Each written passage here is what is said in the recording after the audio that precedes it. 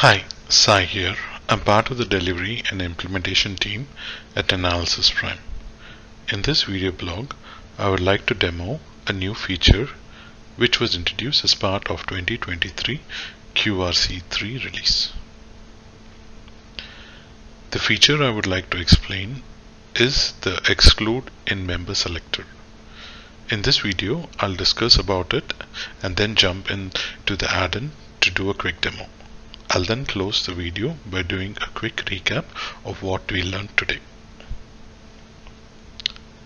As shown in this snapshot, the exclude option has been added in the member selector from 26 July. This option is available when the members are either in hierarchy or in flat list, as shown here. Let's now see this in the add-in.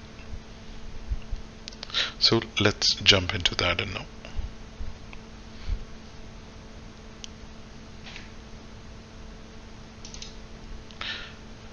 So we are in the add-in and um, this is a simple table which I've created for this demo.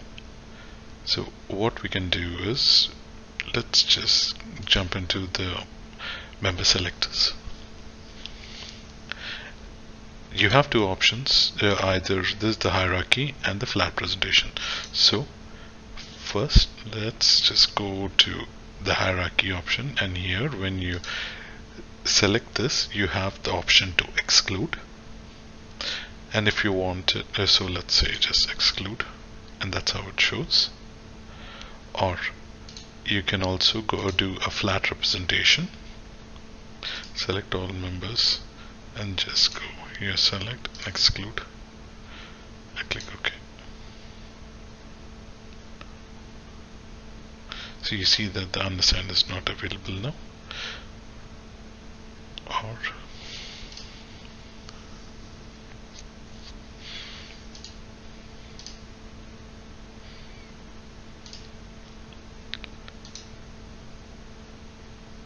I will say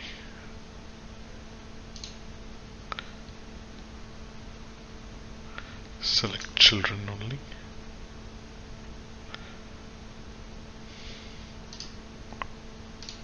I don't want this particular one.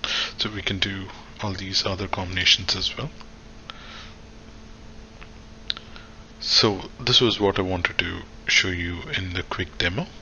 So let's close the video in this video we saw how the exclude in member selector works and that it's available in both hierarchy and flat list presentation. Thank you for your time. Happy learning. Bye for now.